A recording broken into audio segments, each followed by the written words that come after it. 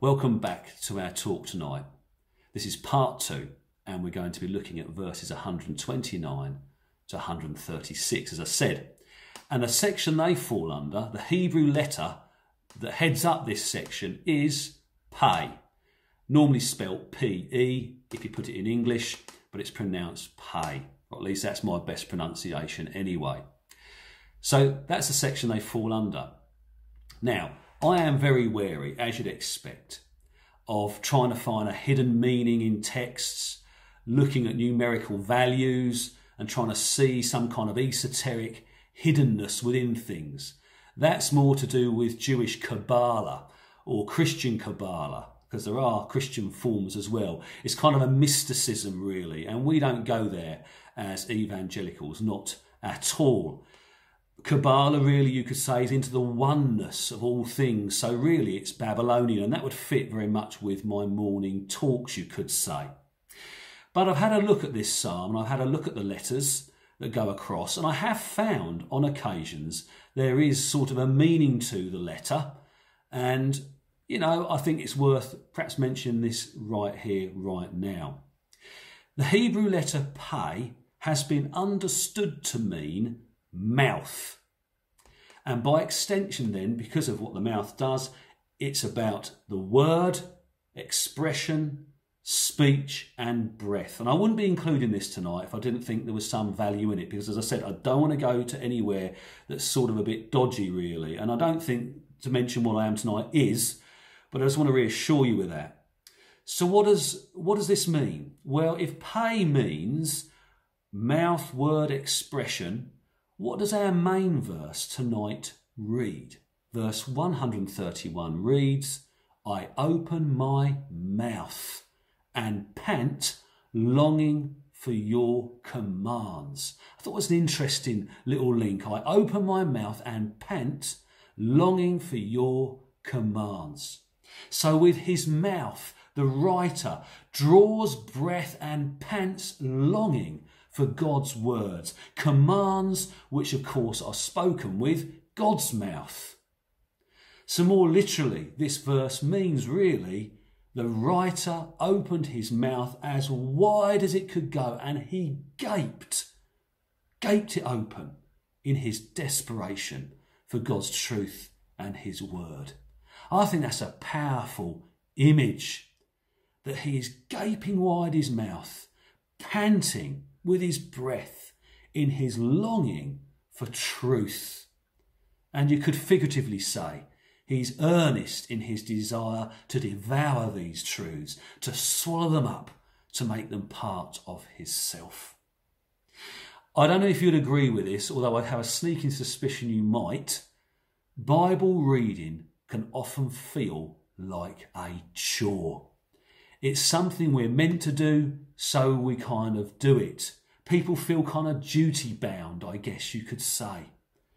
But you know what I think is we need God to do a work in us so that the duty we sometimes feel is replaced by desire.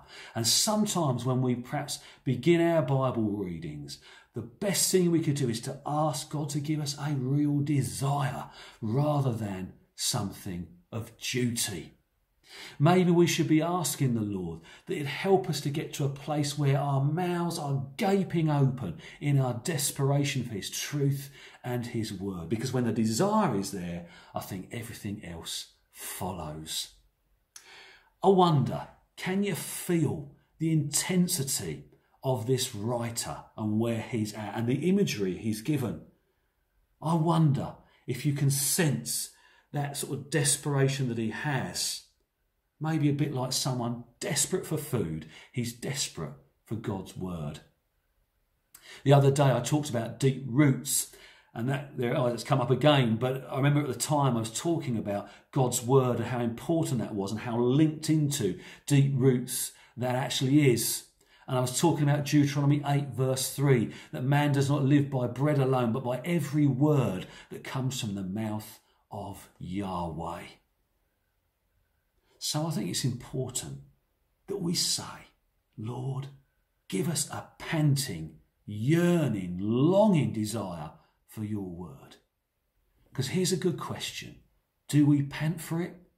Are we desperate for it? Are we gaping wide within ourselves, eager for his truth? I think it's important to be in love with God and in love with his scriptures in that, you know, proper sense of the meaning. I think if that can be something that is stirred within us, it will make a real difference in everything else we do. It seems to me that as we make God's word increasingly part of our lives, where we let truth truly affect us deep down inside, a number of things will happen. The first one is this God unfolds his word, verse 130. He unfolds his word, and we then have understanding. We understand perhaps what we need to know in a given situation, but we certainly begin to understand the greatness of God and indeed his Son, Jesus Christ. His words, as they're unfolded, give light. Metaphorically, they make luminous the very things we need to know because of God and his goodness. I think that's a really important thing. What a wonderful verse, verse 130. The idea of light, as it were, metaphorically being released so that we have that understanding. When we make God's word at the centre of our lives, it means we're making God at the centre of our lives. And as we make God at the centre of his li- our lives, we're making his truth at the centre of our lives. These things fit together like hand in glove, really. And they're so, so important. And therefore, it really answers the, the central tenet of this psalm about God's truth and his word being absolutely at the centre of everything and in anything and everything that we are and we do. God's truth is wonderful. His statutes are wonderful, verse 129. The word wonderful is linked to other words, not surprisingly, of course, which mean astonishingly marvellous, even miraculous. I think you'd agree. God's word through the work of the Holy Spirit in our lives is indeed a miraculous thing. So when a love for God overwhelms us and we have a, a love uh, overwhelms us with regard to his word, then we find this increasing desire within. So rather than it being about a duty, it becomes to more to do with our desire, and that's a precious place to be at and to be involved in within ourselves as human beings. True love for God and His Word. But here's something else that happens, and it's this. I don't know how popular this might be in certain modern churches, you could say, these days, but when we encounter God in His Word, it won't be long before we see His holiness and His sinlessness. And I think that's an important thing. So we find ourselves as a people often before the Lord saying, I need mercy. Verse 132. The psalmist did that. Can't trust God's truth and his word without at the same time recognizing we need mercy and grace. We suddenly recognize when we are getting closer to God that we could easily go astray, that sin might rule us, verse 133. And so our cry is that sin will not have its way in us. I don't know about you, but that's often been the case with me. So often I'm crying out, Lord, don't let sin win in this situation. Let yourself, your truth, who you are, be the one in victory in this moment, whatever that moment might be. Indeed, the psalmist talks about footsteps and really you know we we want to be walking in god's footsteps never stepping outside where his shoe is so to speak to be have a, a path fixed and directed by god not going anywhere else but where he wants us to go. That our desire for him for what is right will be one for obedience. And really, that's what this, this talk is called. You know, it's about Psalm 119, it's about longing for God's word and obedience. And I think when we also give ourselves over to the Lord and we keep with Him and walk with Him, we will often find something happening. Streams of tears will flow in our lives. Uh, that might sound awfully negative, but I'll qualify what I mean in a moment. Streams of tears will flow in our lives, or at least the emotions will well up within. Why? Because we will see around us God's law not being obeyed. Verse 136. And I don't know about you, I've had righteous sorrow and righteous anger in my life over injustices, how I see things to be through the lens of God's scripture, I, I, I, often find myself emotionally overwhelmed, and there have been times when there's been tears rolling down my face because of what I see and what I've what I see going on, and I'm, I'm yearning that people will turn to the living God. Seems to me if we truly are Christians and we're truth based, we will have a desire within for others to also be truth based and to become Christians as well.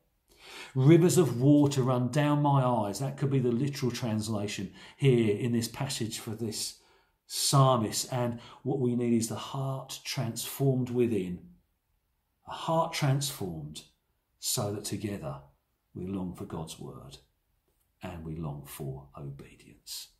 In closing, then, just a few thoughts really. I don't know, you know, when you hear words like decrees, law, ordinances, precepts, and the like.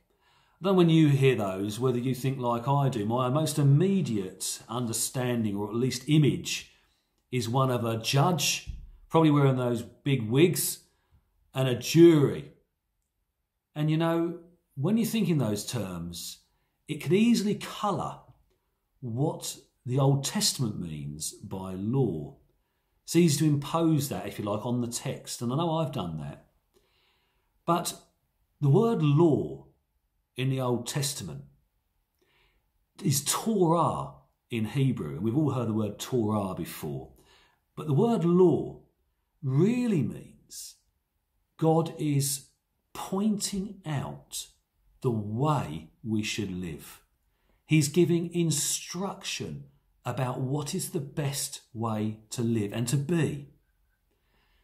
And for me, when I think of Torah, God's law, his precepts, his ordinances, in that vein, it kind of gives me a different sort of feel on the text, really. If I can see that this text is to point me in a direction that is best, then that changes everything. And it's a really important thing, I think, to think about. I guess, in a way, what God's saying is here's my truth. I don't want you making up your own because you'll muck it up.